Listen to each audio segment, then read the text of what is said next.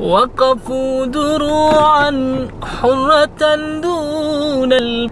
السلام عليكم ورحمة الله وبركاته. حياكم الله جميعا في فيديو جديد على قناة أخوكم نواف خالد. اليوم لعبة الملوك أو لعبة الشطرنج.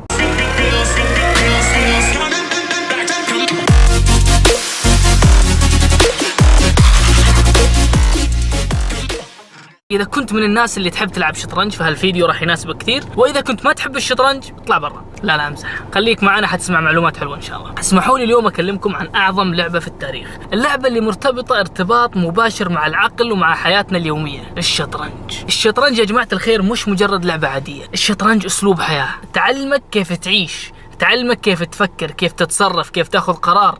الشطرنج مدرسة في الحياة. هذا الكلام مش مبالغة لأني أحب الشطرنج لكن هذا الشيء اثبته العلم. فبالتالي حبيت أسوي هذا الفيديو عن موضوع الشطرنج وفوائد الشطرنج.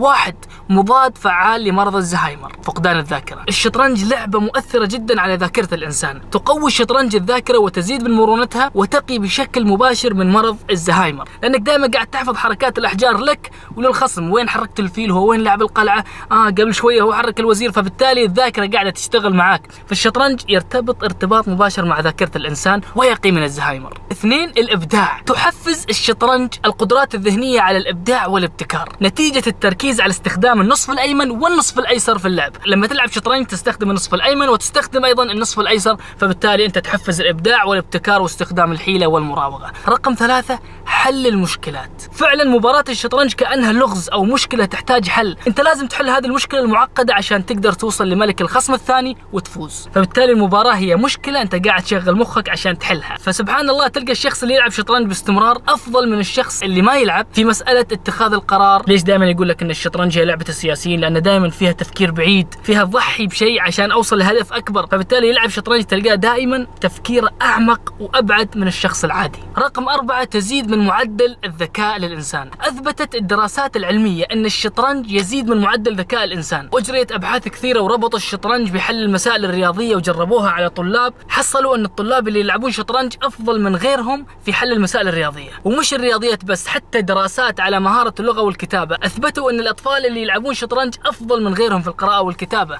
فبالتالي علموا عيالكم الشطرنج وإخوانكم وتعلموها أنتم إذا ما تعرفون رقم خمسة تطيل من عمر الدماغ إلى فترة أطول لأن الشطرنج تزيد من عدد التشعبات في الدماغ فبالتالي تطيل عمر هذا الدماغ إلى فترة أطول من المفروض أنه يعني يوقف أو يموت أو ينتهي. بس هذا موضوع الفيديو، مش لازم يكون عندي موضوع كبير عشان أفتح أسوي لك فيديو وأمنتجه. أي شيء يجي في مخي أفتح الكاميرا وأسولف معاكم لأن إحنا في النهاية أصحاب صح ولا لا؟ إذا ما تعرف تلعب شطرنج تعلمها وإذا تعرف تلعب شطرنج وتحب تتحداني ضيفني في الفيسبوك نقدر نلعب في الماسنجر وأكسر راسك. والسلام عليكم ورحمة الله وبركاته، اشتركوا في القناة، like، comment ونشوفكم على خير.